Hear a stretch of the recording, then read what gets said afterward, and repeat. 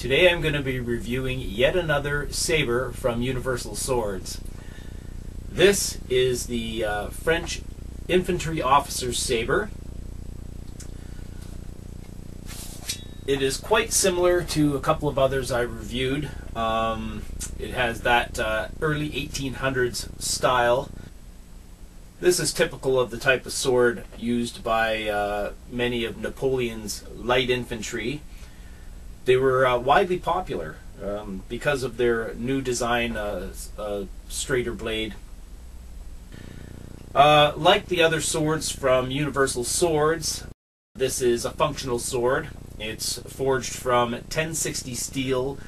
It is a full tang, uh, peened on the end. Now, unfortunately, I can't take it apart because of the peen and, and verify the uh, thickness and strength of the tang but I have seen pictures and videos from uh, Universal Swords facility um, that show uh, the manufacture of a lot of these swords, and uh, they look like pretty solid built swords. Uh, full tang.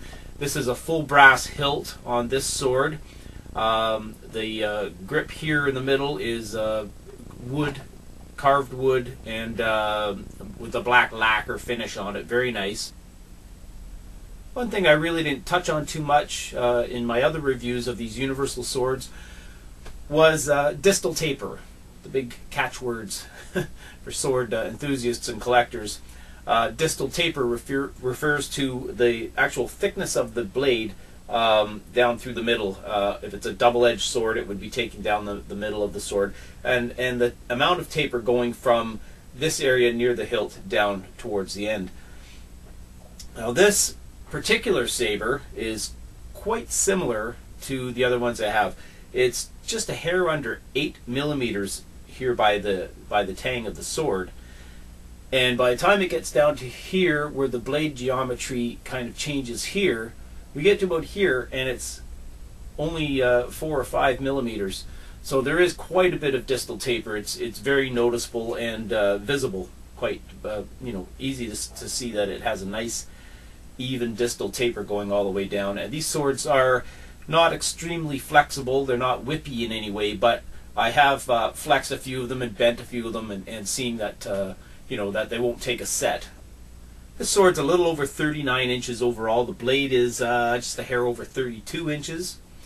Um, I weighed it on my electronic scale at uh, 2 pounds, 3.6 ounces. And that's a pretty good weight for a saber. It's a it's a nice sword. It handles fairly well. It feels pretty good in the hand. Um, it comes with uh, this nice scabbard. This is a leather scabbard. Uh, it doesn't have a core. Um, I believe that's uh, a historical thing, um, the way they were made. Uh, quite a number of Universal Swords uh, sabers are like that. They have uh, just a stiff leather scabbard like this with a nice full brass chape on the end. Um, nicely done.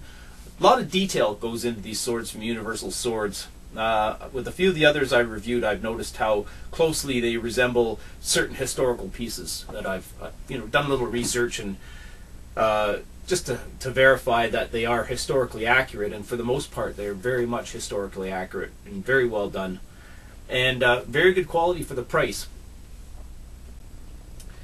These swords uh, come unsharpened from Universal Swords. I had a third party sharpen this one for me.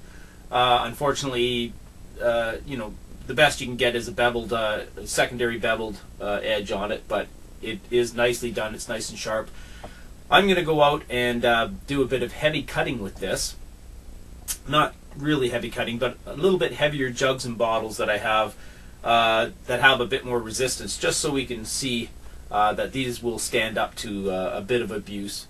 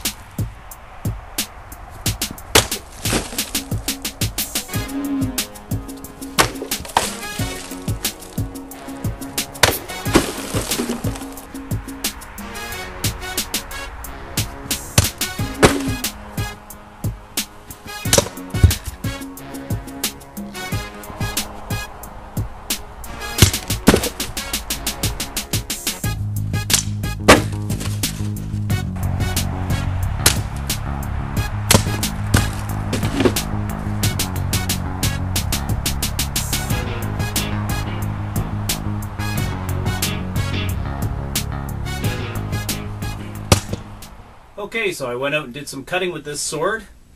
Um, did some heavier jugs with some resistance. Uh, as you saw, it's not the greatest cutter.